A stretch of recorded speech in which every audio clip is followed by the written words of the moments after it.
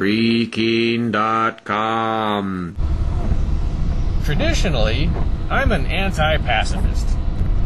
And it may come as sort of a surprise to some of you pro military people that my anti pacifism roots actually continue on. This despite all the nasty things I've had to say about the U.S. military. The fact is, although peaceniks are right about the wars the U.S. is involved in, and although they're right when they say tax money shouldn't be used for warfare, that doesn't address the real problem of how a free country, if there ever is one, uh, goes about defending itself against the likes of Hitler and maybe the likes of Obama. Bush Obama. I think actually most of us liberty folk can more or less agree that as long as a person is not initiating force, or as long as a country, let's say, is not initiating force or harmful fraud against sentient beings, it's not necessarily wrong for it to defend itself. It may not even be an expedient. Now, a lot of liberty folks go so deep into the peacenik thing that this gets covered over, glossed over, misunderstood, but the ability to mount a real defense is allowed for in the non aggression principle. I wanted to talk about some ideas how that might look, what might work best and least, and maybe in the process I can bring forward some military concepts that have just never been explored before in history. I'm not a military man, so that's a strike against me, but someone's got to come up with these ideas. And I have been in one war, if only briefly. I do think military history is fascinating. I like to play war games and try out some of these theories in, in those games. The dominant theory uh, that I have, and that I guess I would try to see put into action if I were the president of a free country, the dominant theory is what I call individualist guerrilla. Those two words don't really cover it because what I'm really talking about is an organized, I guess very loosely organized defense and or counterattack type process through which a free country would deploy or maybe just assist independent one-man armies.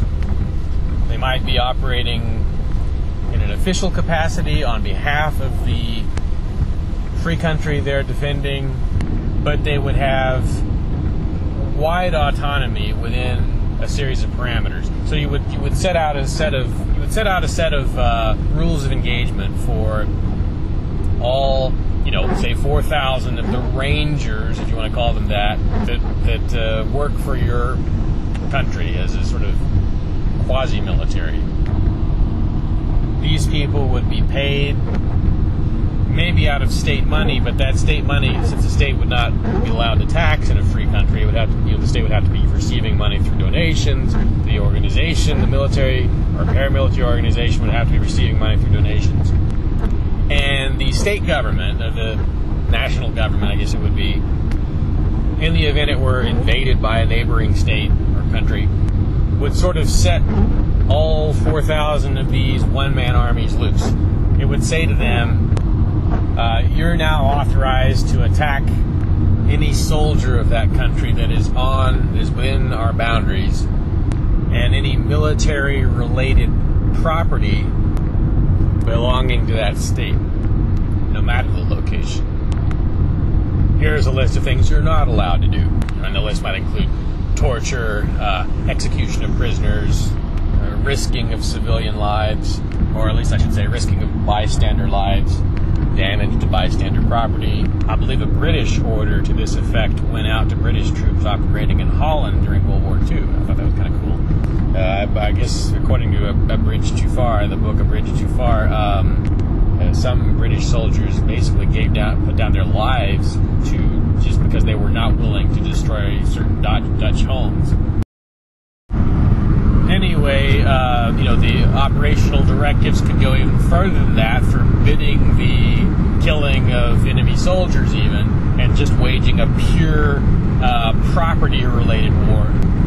Now, again, most of us wouldn't want to be in the position that the Dutch resistance was in, or that the Maquis or the Frontier in, uh, I'm butchering the pronunciation there, in World War One in Belgium. But the, uh, these are all these were all spontaneous guerrilla movements that weren't really planned for in advance. Think what movement could do if uh, that were the plan from the beginning. Uh, sort of like, you know, supposedly Tito's plan was to, you know, if invaded by the Soviet Union, the plan was to simply retreat into the mountains in Bosnia and wage a guerrilla warfare. Don't bother trying to defend the borders. There's also a theory that Henri Guisan was planning on doing that in World War II uh, in Switzerland if invaded.